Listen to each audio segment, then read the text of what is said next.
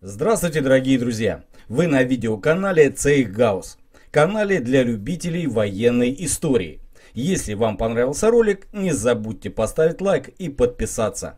Приятного просмотра! Дорогие наши зрители и подписчики, санкции докатились и до нашего канала.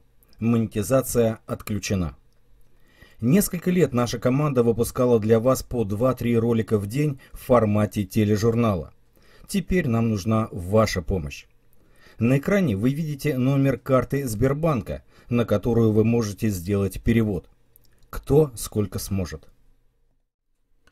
Японский танк Чи-Хэ выпускался с 1942 года и представлял собой усовершенствованную модификацию танка Чи-Ха.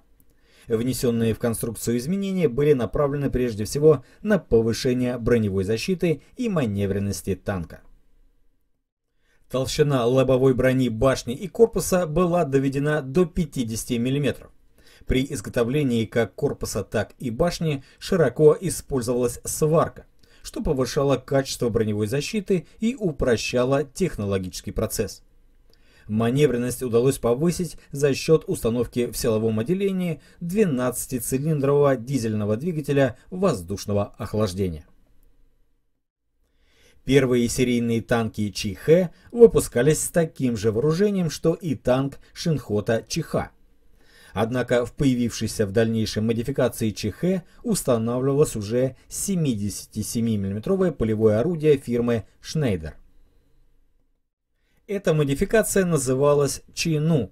Оба танка оборудовались радиостанциями, танковыми переговорными устройствами, имели танковые телескопические прицелы. Начиная с 1942 года и до окончания войны было выпущено 587 танков Чихэ и Чину. Наряду с танками Чиха они составляли основу танкового парка японской армии и широко использовались во Второй мировой войне.